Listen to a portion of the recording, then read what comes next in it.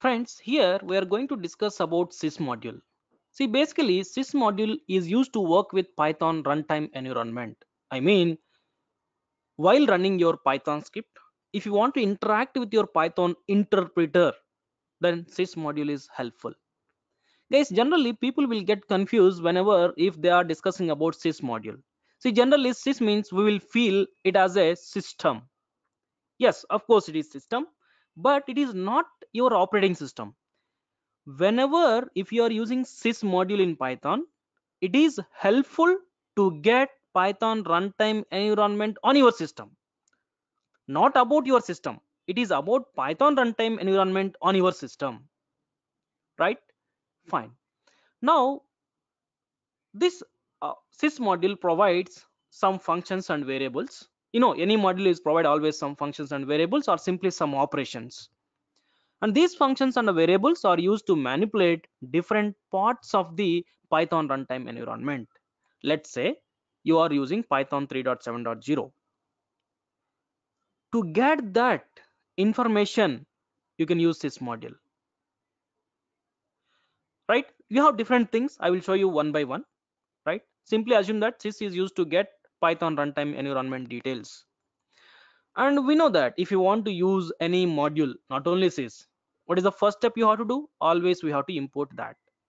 And to list out all functions and variables and to get some documentation these two are the helpful things.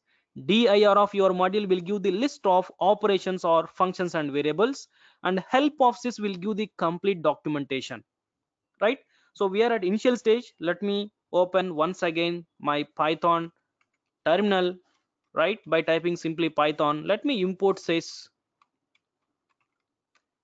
Then dir of sys will give the list of operations or the functions which are there with your sys and the variables.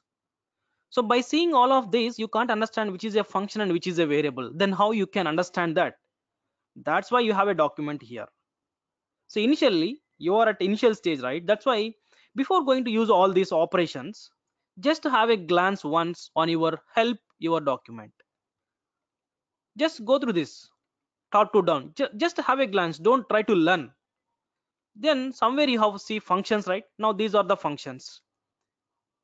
Let me go down right? It will take some time. Just wait. Let me go down. Now you have a data. That means whatever you have here they are like a variables. That's it. Now you know if you want to use variable from any module you have to do simply suppose let me take one of the variable called platform. So guys this is not your uh, operating system details win32 it is your python software which is installed on your host as a 32 bit. So on windows i installed my python software as a 32 bit python software. That's it. Let's say i have one more variable called version right? If it's if it is a function you have to take parenthesis right? Fine. Now let me open a, a simple script. So let me open my sublime text. So i am going to write a simple script using your sys module right? So command line are helpful to know your documentation right? But if you want to write a script just edit just select any editor. I am selecting suppose sublime text i'm going to work with the sys module. So basics of sys py. So guys i want to use sys module. Then what is the first step i need to do? Import sys module. So you have seen what are the list of operations which are there with your sys module by running simply dir of your sys right? So these are all the operations. Now simple thing see i want to display the version of my python if you remember right you can find out that using your uh, from command line you can run simply python space hyphen hyphen version right? Or previously we had a discussion on platform module. In platform module also you have one of the operation to get your python version. Fine forget about all those things. Simply using sys also you can get your python environment details. That is simply sys.version i am saving and running. See the output? Yes you are getting. I want to get in terms of tuple. See that? You are getting. Right? So either version or version info. Both will give your python information details. Then let me comment these two things. These two are variables right? I'm going to take some more variables. Suppose i want to know the modules which you imported to run your python script. So for that in sys you have a modules. Sys.modules will list out simply you're not going to use them but simply we are seeing how many modules you are importing to run your python script. As of now you are importing only sys right? But see the magic what you are getting see these all are the modules different modules you are importing to run your python script. Actually you are not importing. You are importing only sys. That is there at the very first in output. But remaining all modules by default your python is importing to run your python scripts. By default python is also importing some modules. So we are able to see that information with the help of sys. That's why we are saying that sys is a module to work with your python runtime environment right? Not only that let me take one more thing print sys.path so what is the sys.path first observe the output. You're getting some list of paths.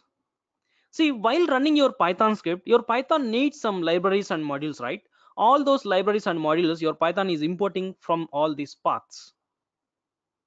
See not only here if you are good at your uh, any windows or unix like systems right? See system is also depending on some paths.